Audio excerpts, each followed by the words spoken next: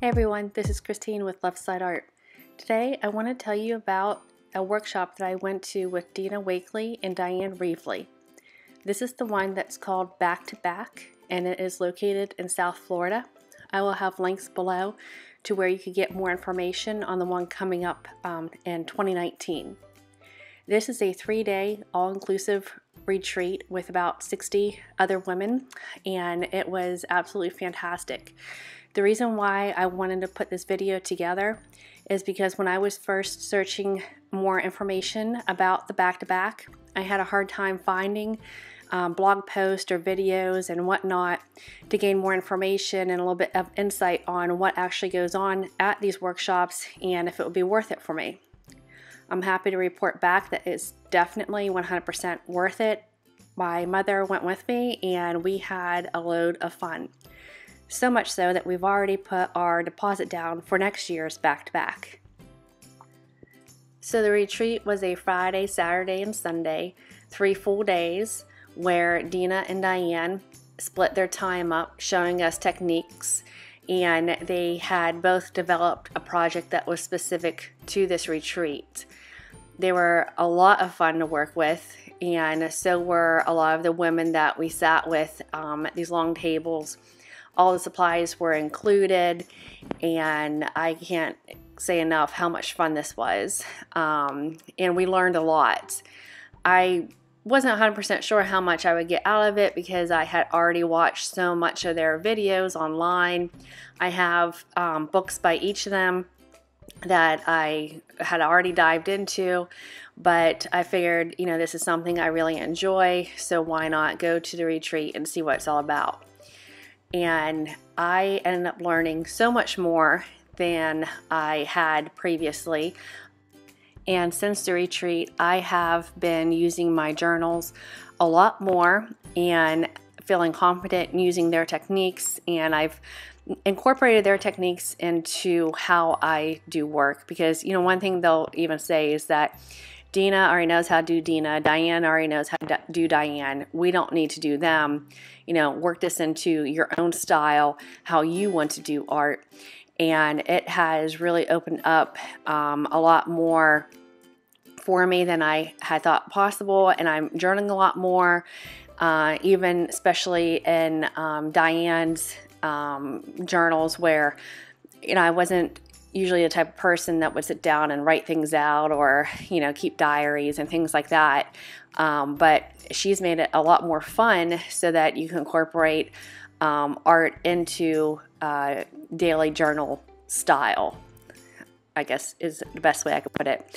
And then with Dina's um, techniques, what I was really looking for is trying to develop definitely develop a lot more artistically, but also be more comfortable with the much feared white space, which I have definitely been diving into more of trying to, you know, not feel like I have to cover every inch of a background.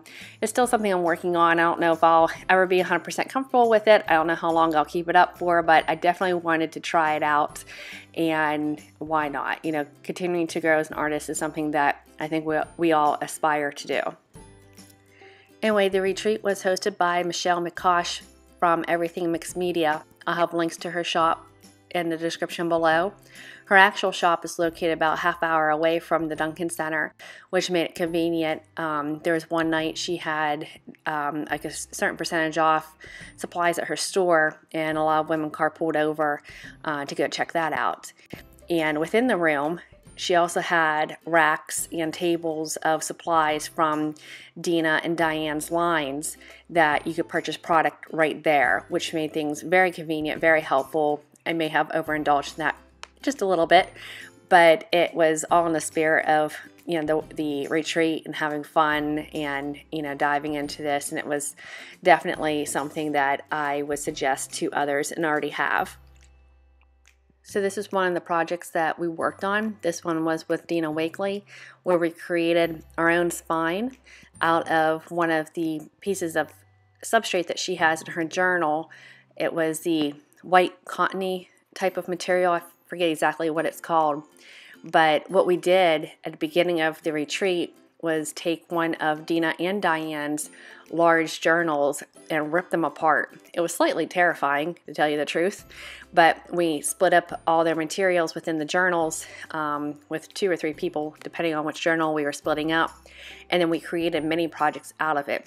It ended up being a really neat idea, and it was, again, specific to this retreat, the projects that Dina and Dyan developed. So this is my smaller journal I have at home um, by Dina Wakley, and you can see it has um, different materials in here. It has cardstock, canvas, comes in four signatures, and that white cottony material is in there. I love this journal. I think it's really cool how the different um, materials in here allow you to, you know, test out different techniques and paint works differently on each of them.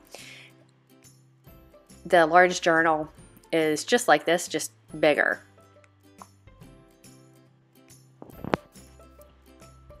So what I did when I got home, um, since we split up Dina's large journal and made smaller projects out of it, I took some extra material that I had and um, I actually kind of took apart the stitching that we did, which was located for that spine. And I made my own small journal, which ended up being just about the same size as her smaller journals. And all I used was some chipboard. I had a roll canvas that I covered the chipboard and made my own spine. It was really simple. I had to glue it back together a few times. You know, wasn't possibly the best job ever, but I actually am working out this journal right now. And I'm using this to follow along with one of Dina's books where she gives you page challenges. And it's, it's been a lot of fun to work in. The pages with color on them are from the four signatures we had created at the back to back with four separate prompts. I feel, I am, I see, and I want. And on these pages, this is where Dina was teaching us some of her techniques on how to lay down gesso and add um, paint and some collage, um, and also her technique of um, journaling I forget exactly what she calls it, but it's writing in a way that you can't really understand it when you go to read it, but you know, you're at least getting it out on paper. And what I did when I created my book here is that I just added in these other pieces of material that I had and created a larger book out of it. We also worked on tags, which you see tucked in here and there. Um, I have some things clipped together with her binder clips as well that I purchased when I was at the retreat. All the stencils and paint and tools, everything was included. Uh, we also created these flowers. These were abstract flowers. We practiced on um, a larger piece of the white cotton paper and you know used Dina's techniques in order to do so. This little bit of collage work where we were layering um, items on top of each other and journaling around it. Um, we also were provided printouts of Dina and Dyan's images to use during this workshop, and that was a lot of fun as well. So we got you know quite a few extra bonuses as, as well um, to use during the workshop and to take home. We also learned from Dina how to do the um, threading to connect the signatures together. Um, it's very simple. You, you basically poke three holes and run thread through it in a certain way, and it really keeps your signatures together. I believe she has videos on that um, as well. But yeah, I was pretty proud of this little journal I made, and it's um, working out pretty well. I have yet to decorate the outside, but since it is canvas I use on the outside, I um, have not yet figured out what I want to do with that. This is a name tag that was provided to us when we registered and it's handmade. It has our names on it and there's little business cards stuck inside. I thought this was a really cute idea. It also helped with um, having name tags so that you could meet people a little bit easier and not always have to struggle to remember everybody's names.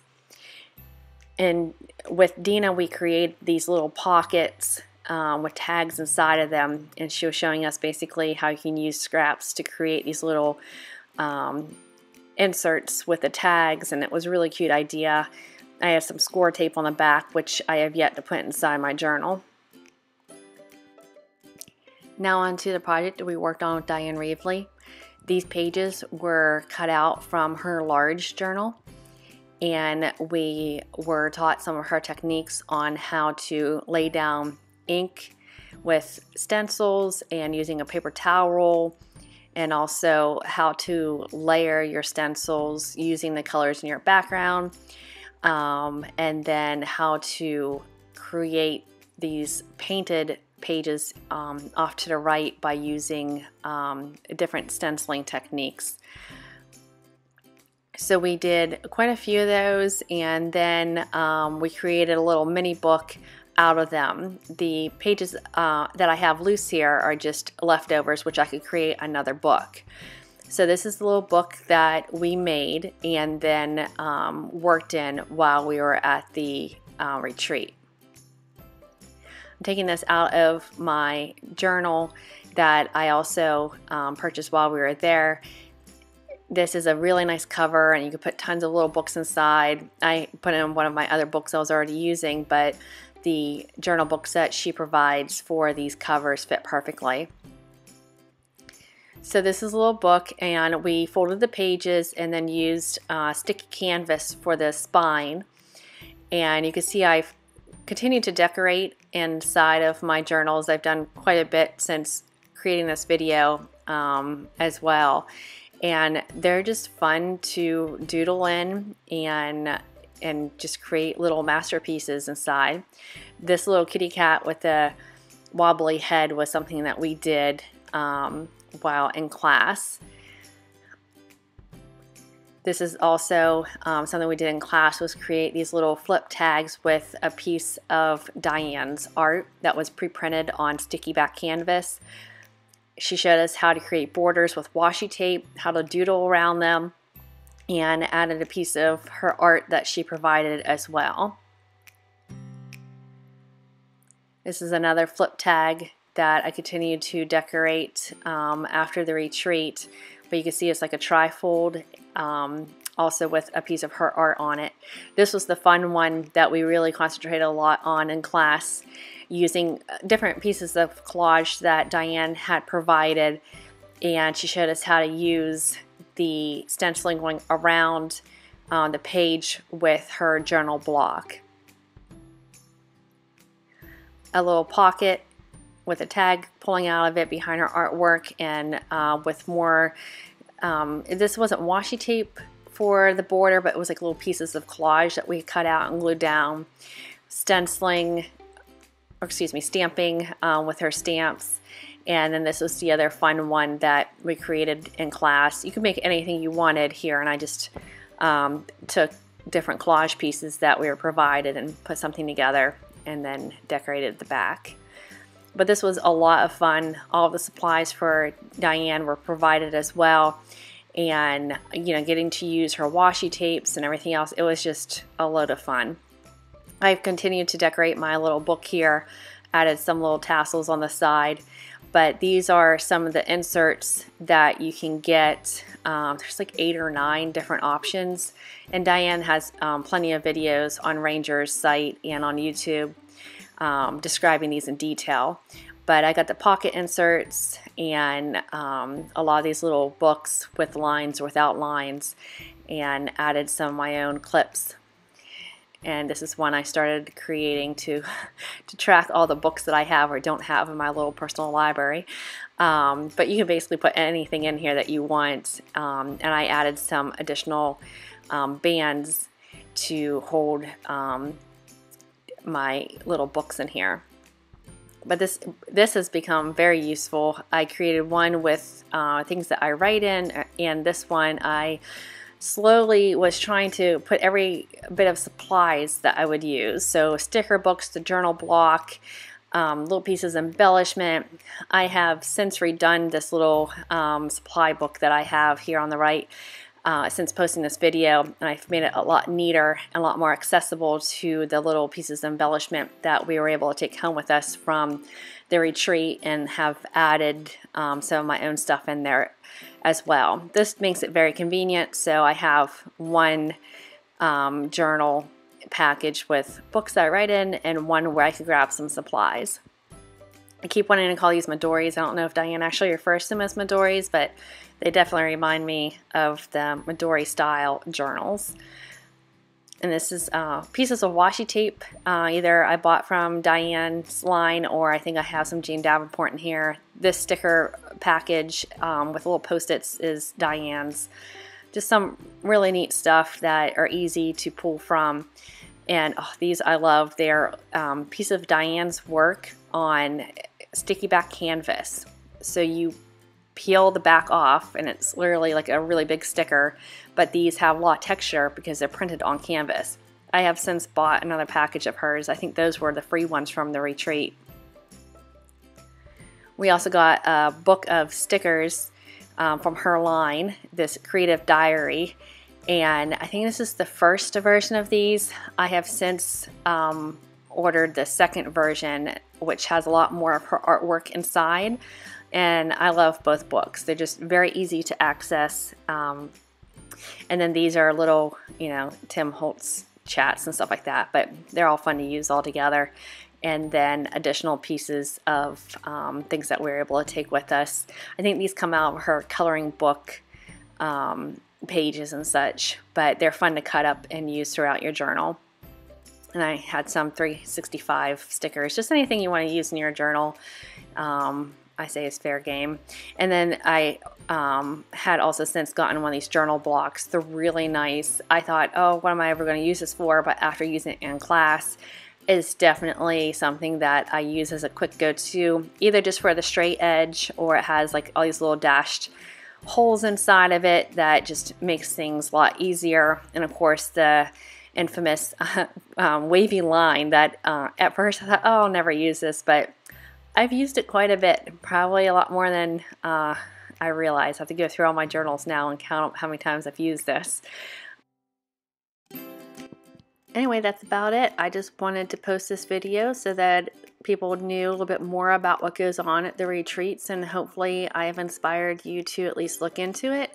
The 2019 registration, I believe, is open. I'll have a link below to Michelle's website where you can get more information. I hope this has been helpful and I'll catch you next time. Thanks.